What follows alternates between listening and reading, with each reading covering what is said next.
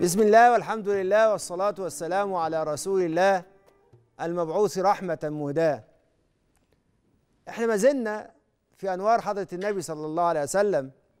بنغرق في هذه الأنوار. فماذا؟ فننجو من مساوئ أنفسنا ونسعد ونبارك ونتهنى. وإزاي حضرة النبي صلى الله عليه وسلم بيفتح لنا أبواب الكرم وأبواب الجود. وفي الحديث وفي المرة السابقة اتكلمنا على إن حضرة النبي صلى الله عليه وسلم من العطايا اللي ربنا أعطاها له اللي جاية في حديث رسول الله صلى الله عليه وسلم اللي رواه سيدنا عبد الله بن عباس رضي الله عنهما قال قال رسول الله صلى الله عليه وآله وسلم ما من أيام العمل الصالح فيهن أحب إلى الله من هذه الأيام العشر قالوا يا رسول الله ولا الجهاد في سبيل الله فقال رسول الله صلى الله عليه وآله وسلم ولا الجهاد في سبيل الله إلا رجلا خرج بنفسه وماله فلم يرجع من ذلك بشيء. إحنا لما اتكلمنا عن هذا الحديث اتكلمنا عن هذا الحديث وقلنا إن الحديث دوت من الخبيئة اللي أخرجها الله سبحانه وتعالى لحضرة النبي. إيه اللي حاصل؟ ما كانت الأيام كلها شبه بعضها لكن لما جه حضرة النبي جه ومعاه الخير للبشرية كلها. جه وفتح أبواب وخزائن البركة والكرم. فربنا سبحانه وتعالى عمل مواسم والمواسم دي في كل حياة الناس بس في بعض الأحيان بتبقى المواسم دي من أهم المواسم. خليني أقول لكم بس في حديث رسول الله صلى الله عليه وسلم لما لما قال ما من أيام العمل الصالح فيهن أحب إلى الله من هذه العشر. عايز عايز يقول إيه الحديث؟ آه صحيح في نفحات في كل يوم من أيام الحياة. ألا إن لله في أيام دهركم لنفحات. ألا فتعرضوا لها. أرزاق سعة وبركة ونور وفضل. بتكون في كل الأيام. بس الأيام العشرة دول حاجة خاصة. والمرة اللي فاتت اتكلمنا إزاي رمضان؟ إيه اللي حاصل؟ ده الفرض اللي ربنا أكرمنا بيه وأخرجه لحضرة النبي صلى الله عليه وسلم. لدرجة إن حضرة النبي يقول أعطيت خمسا لم يعطهن أحد في رمضان لم يعطهن أحد قبلي. وهنا بتيجي العشر بقى. العشر الأيام الأول من ذي الحجة. ويا سلام على الكرم والجمال والرحمة والفتوح اللي بتكون في هذه الأيام العشر موسم من المواسم. هبة من الهبات. فتح من الفتوح. كرم من كرم مولانا سبحانه وتعالى. إحنا بقى وإحنا قاعدين هنا. وما ذهبناش للحج. هل ممكن نحج بقلوبنا؟ آه. تعالوا نسمع بس حديث حضرة النبي صلى الله عليه وسلم وهو بيقول لنا إيه؟ بيقول لنا حضرة النبي إن اناسا بالمدينة. ما سرتم مسيرة خرج مع مع أصحابه وهم ماشيين في الطريق فإيه اللي حاصل؟ فحضرة النبي يقول لهم إن اناسا بالمدينة. ما سرتم مسيرة أو قطعتم واديا إلا كانوا معكم. قالوا يا رسول الله وهم بالمدينة؟ يعني إيه؟ كانوا معكم كانوا معكم في العمل وكان معكم في الأجر وكان معكم في الثواب. مش كده؟ فإيه اللي حاصل؟ كانوا معكم. قال وهم في المدينة يا رسول الله؟ قال وهم في المدينة. حبسهم العذر. آه ده اللي منعهم العذر. اللي منعهم العذر بس قلوبهم مشتاقة. قلوبهم طواقة.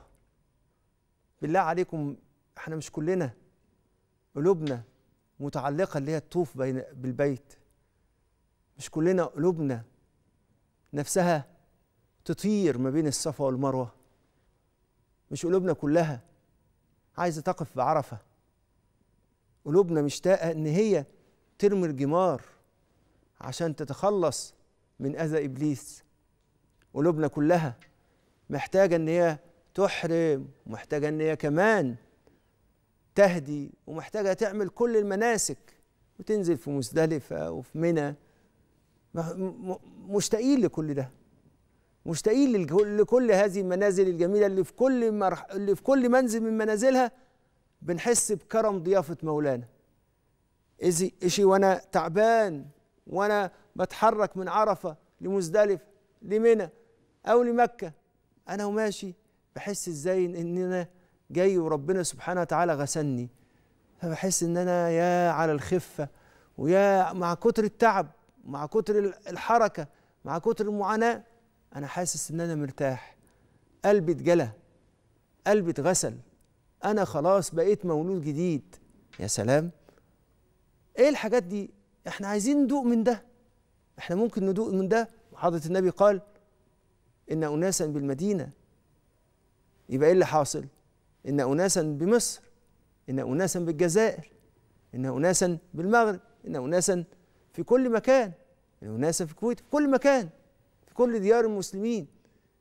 إيه اللي حاصل؟ حبسهم العذر. طب واللي حبسهم العذر يعملوا إيه بقى؟ تحج قلوبهم. وإحنا ممكن نحج بالقلوب إنما الأعمال بالنيات. طب نعمل إيه عشان نحج بالبيوت بالقلوب؟ نعمل خمس حاجات.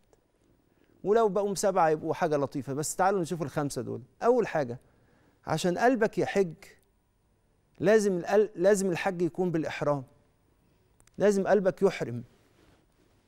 قال لي يعني إيه؟ أحط على أحط قلبي في في إزار ورداء؟ أقول له لا. لابد إن قلبك يحرم. يعني لابد إن أنت تحرم على قلبك حاجات بس لما تسمع النداء. تسمع نداء الله سبحانه وتعالى وهو بينادي عليك. بينادي عليك في كل نفس من أنفاسك. فبيقول إيه؟ بينادي عليك وأذن في الناس بالحج. فبيأذن عليك بينادي عليك مولاك في كل نفس من أنفاسك. فتجد الأذان ده مكتوب عليه ونفخت فيه من روحي. يبقى إيه اللي حاصل؟ ومن أحب لقاء الله أحب الله لقاءه.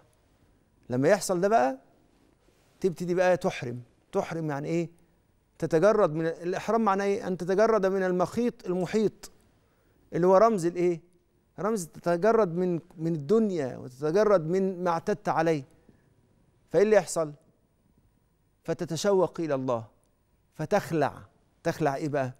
أول حاجة تخلع مخاوفك لما تخلع مخاوفك وأنت متشوق إلى الله تقبل على الله بالمحبة. لما كمان تخلع حولك وقوتك في حياتك اللي بتعيشها تلاقي نفسك قريب من الله. لما تتجرد من سوء الظن بالله سبحانه وتعالى لما تتجرد من الثلاثة دول هتحس إن أنت في حضرة مولاك وخاصة وأنت عندك الكعبة. وهتعرف الكعبة فين دلوقتي.